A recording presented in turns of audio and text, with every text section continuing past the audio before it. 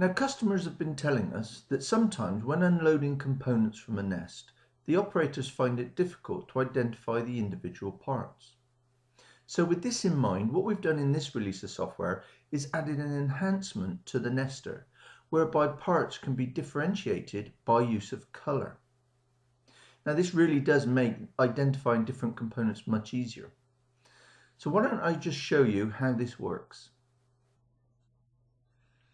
Okay, so you'll see on screen I've opened up a Nest project. I'm just going to bring up the parts window. And as you can see, against each of my parts, I've now got a little square of colour. Now this identifies the part within the nest. So individual parts are given different colours. Now the way that this works is that if a part is of a similar shape, so let's just zoom in on here.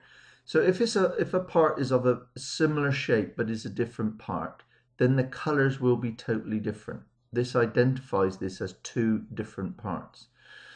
If the parts are totally different in shape, then the colors may be similar because it's quite easy to identify these parts by their shape. Now, as you can see on screen, it makes it much easier to identify different components.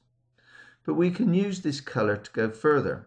For example, we can display the colors in different ways. So you can see here in my um, pull-up, I've got color by. At the moment, I'm coloring by part. So why don't I go to, say, color by priority? So you can see straight away that all the colors have changed, but these two groups of parts have a different color. Now that tells me that they have a higher priority than the remaining parts.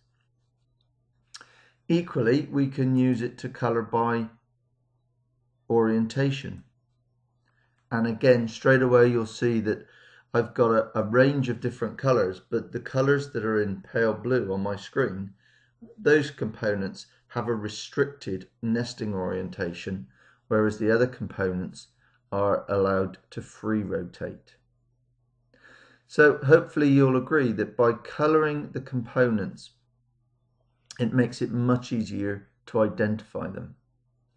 Now the colors can be controlled. There is two pieces of system data which will allow the user to adjust the colors. So let me show you how that looks. You'll now see on screen that same nest, but the colors are, are subtly different.